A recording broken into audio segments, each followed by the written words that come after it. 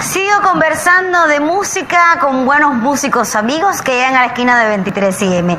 Comenzamos nuestro encuentro con la música que nos regaló gentilmente Manolito Simonet, que ya está a mi lado para conversar y actualizarnos sobre todo lo bueno que ha realizado la orquesta, en este caso tú como productor, bueno, tendría que extenderlo hasta allá, entre Amaray, Rubencito y Gaby, justo porque has develado buenos compositores, incluso productores musicales dentro de la orquesta, Manolito.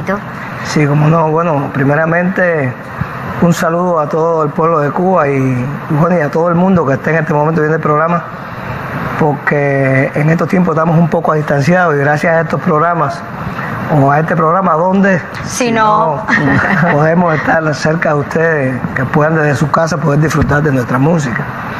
Y decirle que ha sido un privilegio sí tener un, un equipo como este. Bueno, Yamara lleva un poco más de tiempo. De más, más años. Pero ellos se incorporaron después y han venido con mucho, es decir, con, con mucho aporte a la orquesta, no solamente cantando. Rubén, por ejemplo, es un gran percusionista. Eh, el Gaby allá es el que nos organiza las voces en las grabaciones, que ya antes lo hacía yo, y es una responsabilidad menos, lo hace él y lo hace muy bien. Y bueno, y como compositores ni hablar, composiciones que son de Rubén y Gaby, composiciones de Amaray, que ya, bueno, ya habitualmente la gente está acostumbrada a esta composición. Eso es una buena credencial para el aniversario 28 de la orquesta, Manolito. No podíamos pasar por alto esta celebración, aunque ya tú llevas dentro del gremio artístico 35. 35 ya. 35 años ya, pero 28 con el trabajo.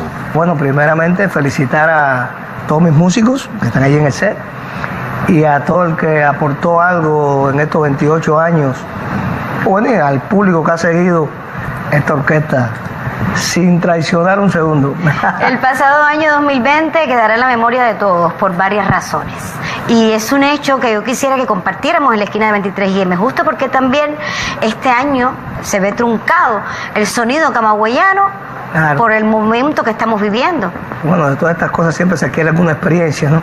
Independientemente de todo lo que hemos pasado, que ha sido muy grande, también nos ha dado la posibilidad de reflexionar en muchas cosas. Y creo que la dinámica del trabajo no nos permitía a veces detenernos y creo que hemos encontrado errores que íbamos cometiendo en la composición, en la orquestación, íbamos perdiendo un poco el público porque eh, a veces estábamos un poco más familiarizados con la música que con lo que bailaba la gente.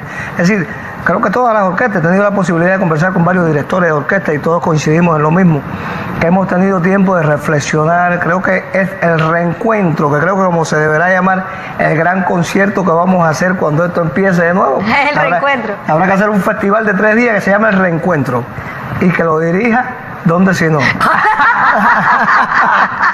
y esa puede ser la arrancada para un sonido camagüeyano de este año, ¿no? Claro, y pienso que ahí vamos a tener tiempo y creo que el público también ha reflexionado y lo sobre necesita, su, necesita esa sobre su música, sobre sus músicos, cuál es su verdadera música, porque ahora la están extrañando porque no la tienen, cuando la tenían un poco que buscaban otra cosa ese reencuentro creo que va a ser una interacción muy importante entre el público, entre el público y nosotros los músicos. Debe decirte que lo que acabas de compartir con nosotros es una reflexión que no me había saltado hasta ahora mismo en la mente. ¿Ustedes creen lo mismo? Que justo como este año distanció al público del contacto con las orquestas, con ustedes que son líderes de música popular bailable, siempre estaban buscando otras sonoridades y ahora que no la tuvieron, es que dicen, ay, qué ganas tengo de, escuchar y bailar, ¿no? Claro, claro, claro. nos volcamos a las redes sociales. No es lo mismo tener una orquesta en directo, disfrutar de esa energía, que verla por redes sociales. Claro, hay retroalimentación, ¿eh? eso es inyección de ida y vuelta. Nos, nos, hace falta todo eso. Pero bueno, yo pienso que eh, si eh, va a pasar, de verdad que sí, este momentico va a pasar y dentro de poco estará todo en escena de nuevo. ¿Qué dicen los más jóvenes? No, nada, contentísimo. Primero, darte las gracias por la invitación. Eh, contento de estar en esto que ya son seis años en el trabajo. Nunca me lo pude imaginar. Marolito nos dio la oportunidad hace seis años y estamos súper orgullosos y siempre ha sido nuestra escuela de la vida y de la música. Felices de estar aquí en el trabajo. Para qué reiterar las cosas, ¿no? Súper orgulloso de estar en esta orquesta y, super, tenemos muchas ansias de volver a encontrarnos con ese público que, que sé que tiene ganas de vernos, de compartir con nosotros de nuevo y que nos pide y nos reclama, y como a tantas orquestas y a tantos músicos buenos, que como yo mismo extraño, tengo tantas ganas de ver un concierto de músicos que admiro y sé que el público está ansioso, al igual que nosotros, de volver a escena y volver a encontrarnos, ¿no? Pero yendo a la conversación que teníamos, eh, ustedes tienen una bendición directa y es que Manolito, que ha formado a tantos músicos, que ha colaborado como productor, que eso es una manera de encauzar el camino de otros artistas, ustedes están directamente, están bebiendo directo de la fuente. Sí, estamos alimentándonos todo el tiempo de él y hay muchas, muchas producciones este año. Este año incluso yo he cantado temas que, que no me imaginé cantar nunca. Eh, Manolo me ha dado la posibilidad de, buscarme otra forma de, de interpretar temas y igual que Rubén, que eh, eh, tiene la posibilidad de tocar la percusión. Sacarlo de la zona de confort, la, zona, la zona de confort y llevarnos a, los discos tan grandes que se han hecho, homenaje a la maravilla. Eh, ahora ha hecho un, disco grandísimo de, sinfónica que yo pienso que va a ser. Eso, eso. Quiero que me comentes sobre esta producción de sinfónica. Es un proyecto que hacía mucho tiempo quería hacer ¿no? era directamente dedicado a la música tradicional, había pensado hacerlo con temas antológicos de la orquesta, de, bueno, de cuando empezó.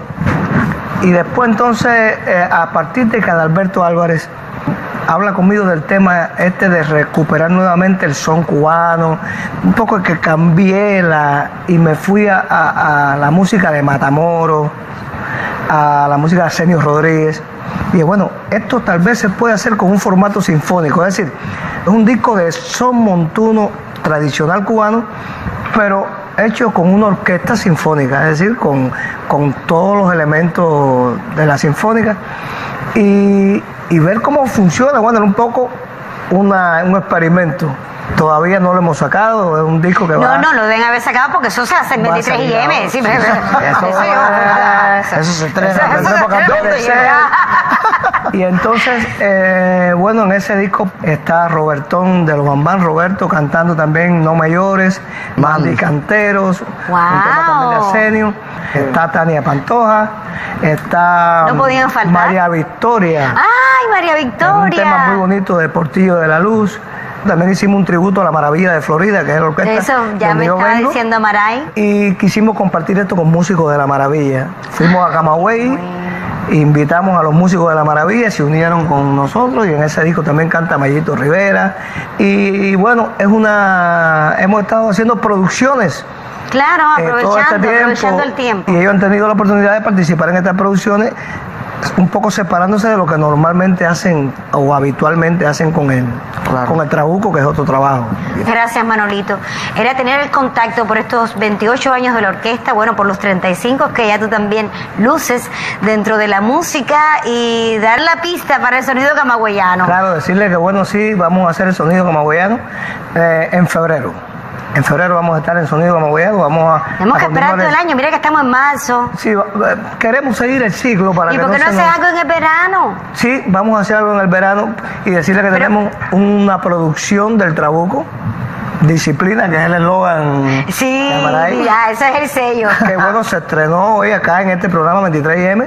Y nos vamos también para atrás con un tema bien antológico, uno de los primeros temas, que creo que es el primer tema que hizo Maray cuando entró a la orquesta. Vamos a matemática. Ah, Tú sabes, eso, es una anécdota linda, porque yo estaba en la sala de la casa del maestro, el maestro sacó un 3 sin cuerda, entonces lo viró al revés porque toca la zurda y me, me dijeron que usted es compositor y yo estaba y decía, yo y dice, sí, cante ahí. Y me, pura matemática. No me salía la canción. Y dice, pues, canta, canta. Pura matemática. Ese eres tú, pura matemática. Y me dijo, ese tema es un hit.